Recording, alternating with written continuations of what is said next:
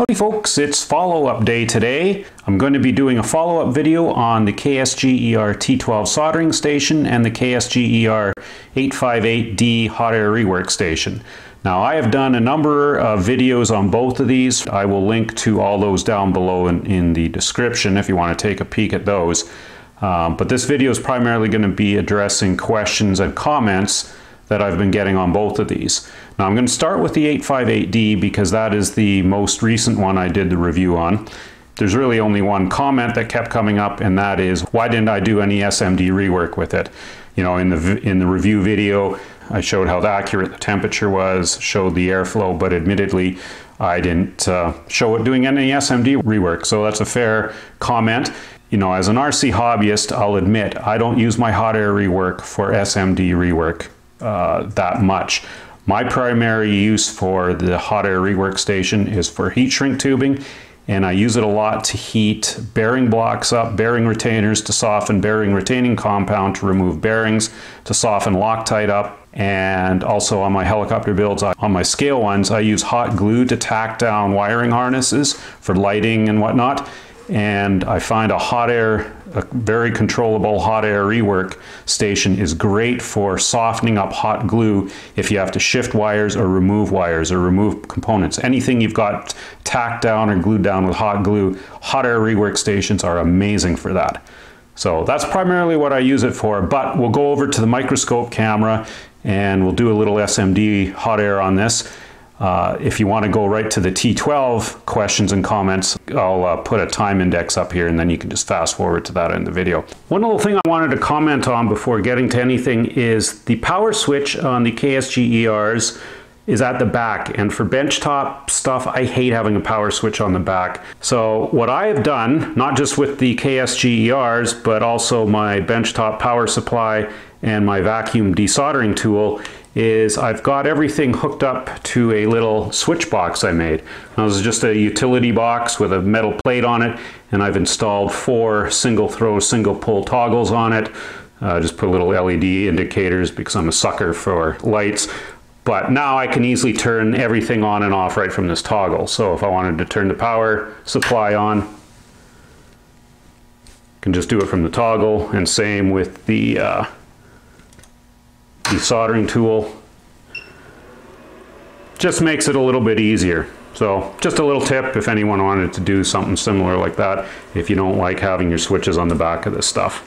In case you're curious how I'm powering the components on the bench from the switch box, I've just got the output wiring from it going to a dual gang box under the bench and it's got two duplex receptacles in it and I've just cut the little dual circuit tab on each receptacle so they're all isolated and controlled by their own individual toggle. It's as simple as that. Let's get over to the microscope and we will uh, see if we can do some SMD demoing to show the hot air rework station. Then we'll get to the T12 soldering station. Again, I'm no expert at this. Um, I don't do enough of these, but we're trying something really simple here. This is an 18-pin SOP chip. I've got the KSGER hot air rework gun set to 380 degrees Celsius and the fan flow set at 50% flow rate. You don't need tons of flow. Uh, you'll just blow other components off and it's just not as efficient. So I haven't edited it this for time or anything. As you can see, it came off pretty quick. So I'm just going to reapply it. I'm um, putting on some flux here.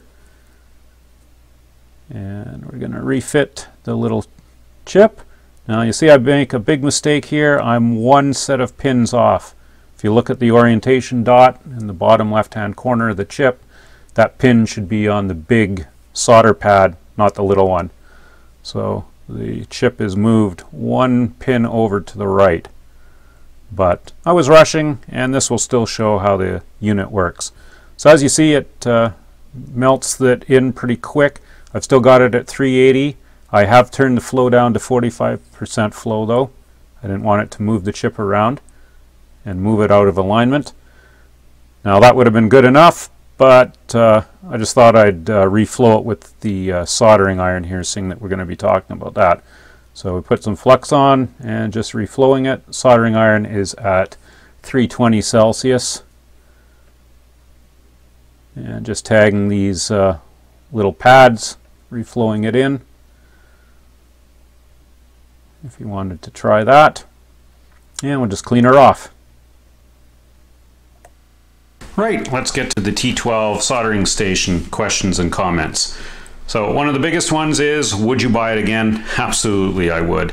Uh, I've been enjoying it so much. Once you get used to the direct drive tip technology type uh, irons, you'll never go back. You know, changing the tips on the fly is so convenient. The heat up time, the accuracy, the response. Um, yeah, it quickly spoils a person. And for the price, uh, you're not going to beat it. Obviously, I wouldn't have bought the KSGER hot air rework station if I didn't like their soldering station so much. So, yep, totally would buy it again. If this one crapped out tomorrow, I'd be ordering one right up. The uh, second question that's coming up a lot lately is these are now shipping with a different iron. They're coming with the 907 iron. I'll fire a picture up here.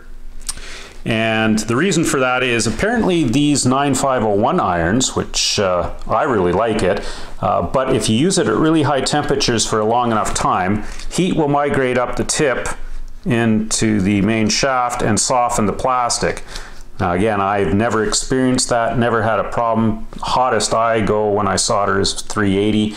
You know, I might go up over 400 the odd time I'm doing a boost, which is, you know, you've got that cool boost function in these, but it doesn't last long. Uh, you know, I might only be boosting for a couple of minutes. So I've never experienced that. Um, if anyone wants to leave a comment, if you've noticed that, feel free. But the 907 iron, it's got that metal end on it that alleviates that issue. But the question is, will the iron, that 907 iron, still fit inside this neat iron holder? And yes, it does. It's got the same diameter. So both irons will fit fine in here.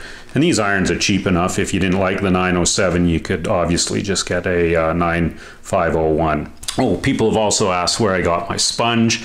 Uh, I don't use anything special.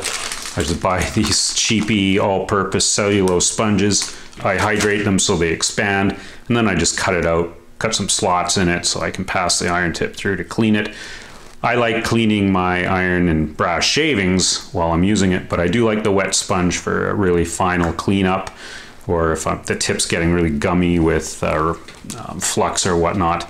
Um, or of course you can get that little silo that fits in here with the uh, brass sponge. So whatever works for you. I guess on that topic, the tips themselves, people have asked how are they holding up? They're holding up great.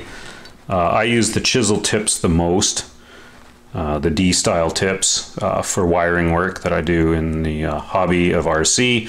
I will do through-hole component work as well, though, on circuit boards.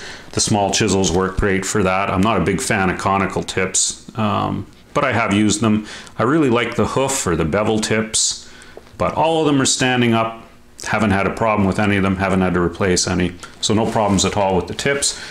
One thing I would recommend if you get one of these things, or really for any soldering station, pick up one of these FG100 tip um, temperature sensors. Comes with these uh, little replaceable thermocouples, and you just rest your tip on it, and you can measure the tip temperature.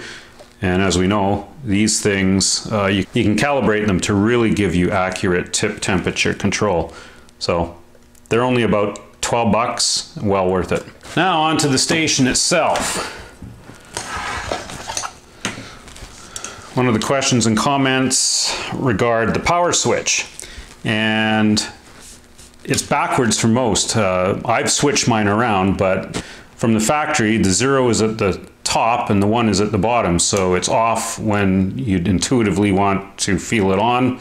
Now, I didn't like that either, and of course I've alleviated this issue altogether with that switch box I made, but these are easy to swap if you've got one and you want to switch the switch so it's up or down. Uh, these just press out from the inside of this C14 housing and you can rotate it 180 degrees so it'll be in whatever orientation you want.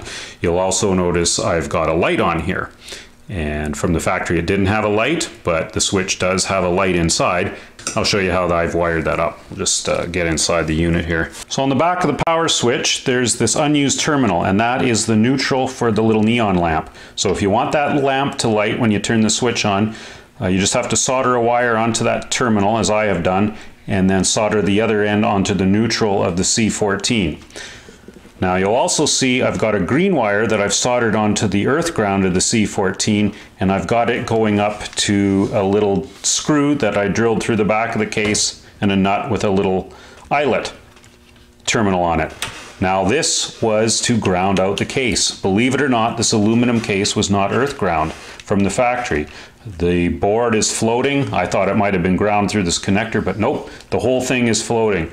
And to me, that's a big safety issue. So if you want to earth ground your case, that's how you would do it. It's pretty simple.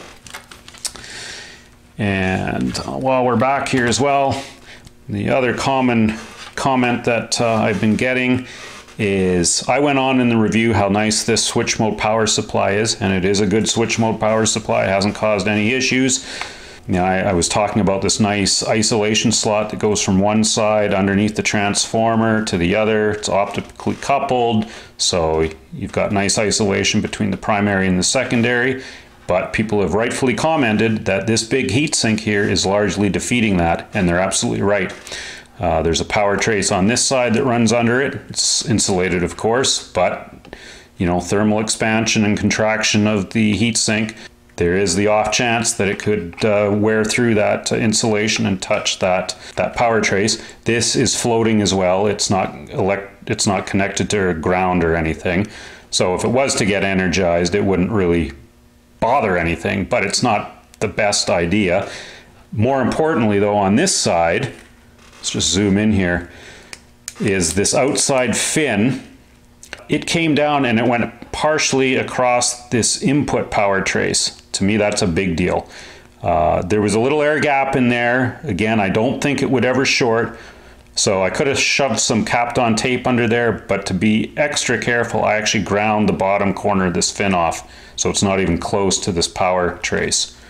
Up to you if you wanted to do that, but that's certainly a concern. Now on that point, we'll come to the last comment. And that is, a few people have said these are just cheap Chinesium pieces of garbage that no one would buy. They're going to burn their house down. Are they built to a price point? Yes. Are they perfect? No. We've already deter determined that.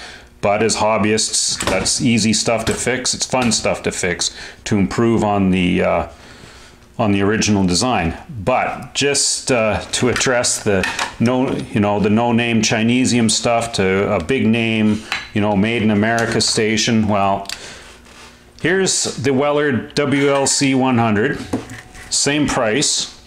Now this thing to me is much more dangerous than this. I have accidentally left this on for a day, even a few weekends I've left it turned on. So yeah, I could have burnt the house down.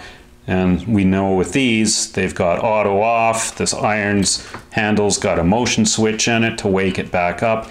If it doesn't detect any motion or anything for a programmable set of time, it'll turn it right off. Very safe. Now, as far as this, yeah, it stopped working on me and it shorted out internally because a wire nut came off. Just cheap little wire nuts on here. The power wiring is pinched in the plastic casing. Didn't like seeing that. But the biggest letdown, or surprise I suppose, was this little white bag that was inside. This is just filled with lead shot to add weight to the unit. So just because something's got a big name on it and it's made in the States doesn't also mean it isn't made to a price point. And by all means, I'm not trying to force these things on anyone. I do these videos to point out their pros, their cons, and you know what what you get with them and if it's something you want to invest in or not. This isn't going to be the right station for everyone there's no doubt about that. But if you don't mind tinkering if you want to save some money if you want the performance of cartridge tips these are amazing bang for the buck. Oh and by all means if you've got more comments or questions please leave them below. And who knows in a year's time we can do a two-year follow-up on this thing. Cheers folks. Happy soldering